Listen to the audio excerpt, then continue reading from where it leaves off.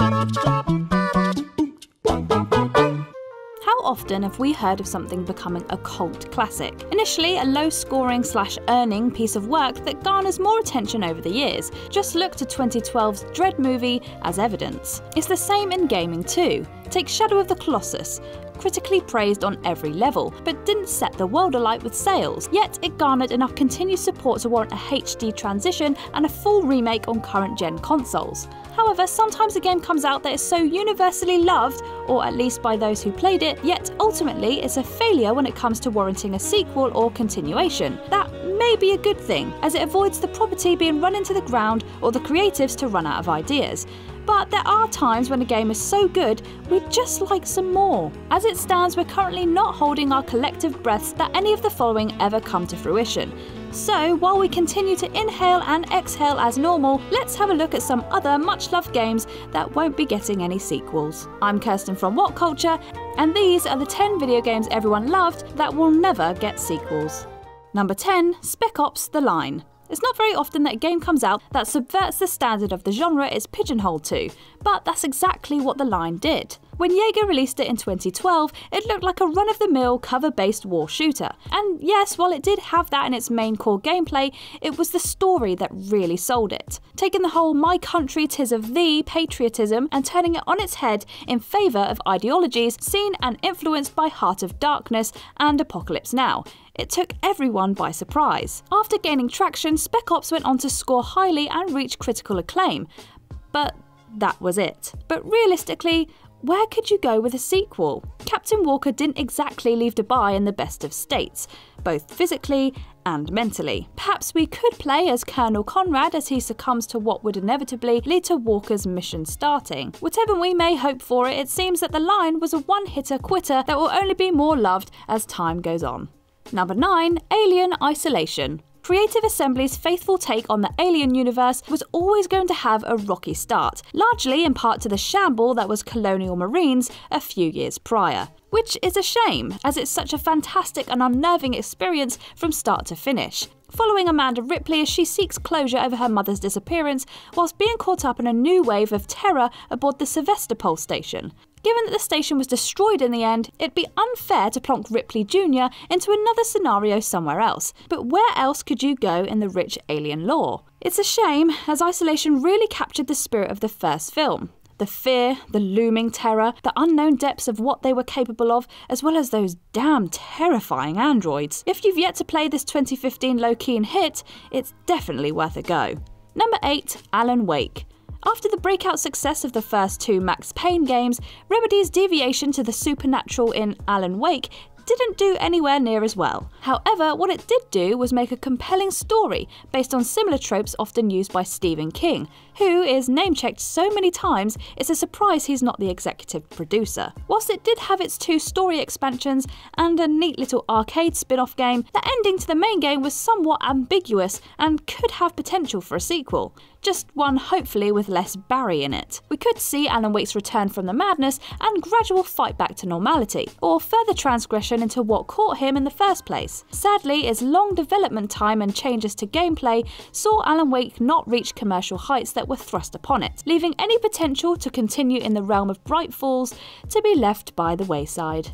Number 7. Okami. Clover Studios' Zelda esque adventure set in beautifully watercolour fictional Japan. Check out any review and they will all tell you how great it is to play, how visually appealing it looks, and all the praise in the world about it except how long the intro is. It was showered in accolades and awards, looking to be a real success story for Clover Studio. So, why is it on this list then? It sold a decent amount, so it couldn't be because of numbers alone, surely. Unfortunately, it came at a time when several prominent figures left Clover Studios, causing the inevitable closure. With Shinji Mikami and Hideki Kamiya leaving, it took a massive element of the creative team with it. Okami has continued on from its PS2 iteration, receiving not one but two HD ports onto the last and current generations, as well as Amaterasu appearing in crossover fighting series Marvel vs. Capcom. Sadly, it seems like that's all she wrote for the Sun God's adventures.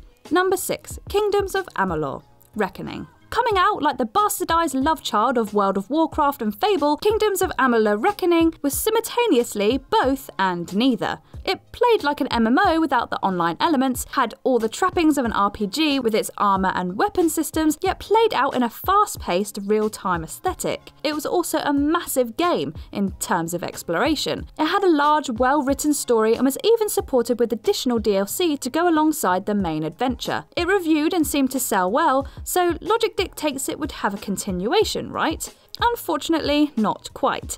After a sequel was pitched and potentially started, part developer 38 Studios missed a loan payment and filed for bankruptcy. This left the debt to fall on the taxpayers of Rhode Island, who understandably weren't happy about that. However, there may be a silver lining, but it's not one that fans are holding out for. After the acquisition and formation of the THQ Nordic, the rights have reverted them for KOA. However, no plans to produce a sequel have come forward. Yet. Number 5. Vanquish. Vanquish, coming off the back of Bayonetta a year prior, saw Platinum Games taking the fast paced combat of the latter and ramped it up to 11. Zipping around in the augmented reaction suit, slowing time down to shoot, and just overall being a badass, it was a joy to play. Despite being reviewed as a relatively short game, the joy was to be had in subsequent playthroughs on harder difficulties, mopping up achievements, and just generally pulling off the sickest moves. The story was left, despite being a bit by the numbers for a sequel. The bad guy gets away and the president takes the easy way out. Think Russian Robotnik, hatching crazier plans with each iteration. It sets the stage for something on a much grander scale, as if Vanquish was a warm up to something epic. Whilst Platinum Games had a resurgence with Nier Automata, a collaboration with Square Enix, it seems that all original IPs have been dropped. What with Scalebound's cancellation in 2017, the continued exploits of Sam Gideon and his supersuit are only pipe dreams. Number 4, Metal Gear Rising Revengeance. Another Platinum Games edition on this list, this time sharing characters and themes from Konami's Metal Gear Solid universe. Playing more like Bayonetta than Vanquish, Metal Gear Solid Rising Revengeance saw the once panned Raiden taking centre stage in a war against a US senator. As is the usual flair for both Platinum Games and Metal Gear Solid, everything was bat guano mental. The combat was tight and well played out. The story was pure cheese, and it left an open air as is typical for Metal Gear. There's sinister forces at play in the shadows, trust no one, etc. etc. Whilst not a massive game, there was tons of fun to be had. Sadly, what with the aforementioned state of Platinum Games and the much publicised rift between Konami and Kojima, it'll be unlikely to see any more entries in the Revengeance universe. Kojima san has gone on to say that if there were a sequel, he'd entertain the idea of playing as Grey Fox from Metal Gear Solid, given that he's only been playable in a few VR missions previously. It would be amazing to step into the reanimated shoes of Frank Jaeger. Ah, well, we can dream.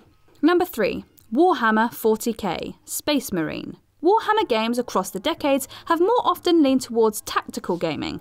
The Space Hulk series is focused on squad slash turn based action, whilst the Dawn of War series is reminiscent of Command and Conquer and its ilk. So imagine how refreshing it was when Space Marine dropped in 2011 across multiple platforms eschewing the tactical RTS gameplay in favour of third person shooter Slasher Carnage. Space Marine was a surprise hit to some. Shooting was tight, combat was visceral, and being able to switch between the two was fluid and satisfying. The story itself was well written, following Captain Titus and squad in what initially seems like an orc invasion vastly unravel into chaos, evil schemes, and plotting. The ending was left open too, with Titus's fate left at the hands of the Inquisition, despite his heroic efforts. That was eight years ago, and we are unlikely to hear any more about the captain. Two sequels were scrapped, with THQ filing for bankruptcy not long after. Whilst THQ has been saved and some IPs have been restored, it seems that the Space Marine universe isn't one of them. Number 2. Fez.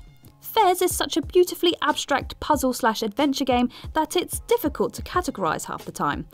It's not quite 3D, it's just not 2D, nor does it fall into the 2.5D trappings of other arcade games like the Trials Bike series. If you've yet to play Fez, you're missing out. After little Gomez comes across the titular Fez, he discovers he can rotate the 2D plane he lives on. This perspective change allows access to once thought unreachable areas, allowing Gomez's journey to piece the world back together, one cube at a time.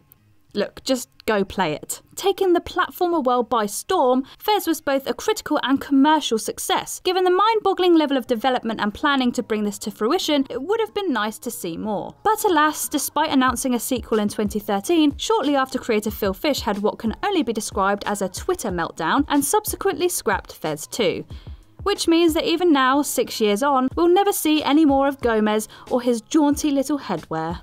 Number 1 Sleeping Dogs. It's weird to be mourning a lack of sequel to 2012 Sleeping Dogs when it itself is the result of a failed sequel. Starting off as a continuation to Activision's true crime series, hopes weren't high after dwindling reception and sales to the open world crime series. It's only after Square Enix bought the game, but not the license, that Sleeping Dogs was born, ditching the negativity that surrounded the TC series to become its own game. Calling it a Grand Theft Auto clone would be unfair, as Sleeping Dogs followed an undercover cop in Hong Kong, channeling martial arts and cop movies from John Woo, Jackie Chan, and the Infernal Affairs series, it was a surprise hit. So much was the adoration for Wei Shen's adventure that it was subsequently ported to the current generation of consoles.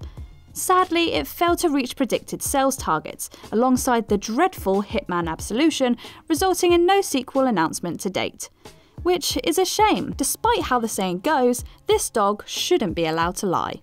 And that's our list for you. What other games would you love to see a sequel to? Leave us a comment below and let us know. If you haven't already, click that subscribe button and check out our other gaming videos. But for now, I've been Kirsten from What Culture, and I'm going to sit here and try and think of a way that we can get more Ellen Ripley. Please? Someone? Sigourney?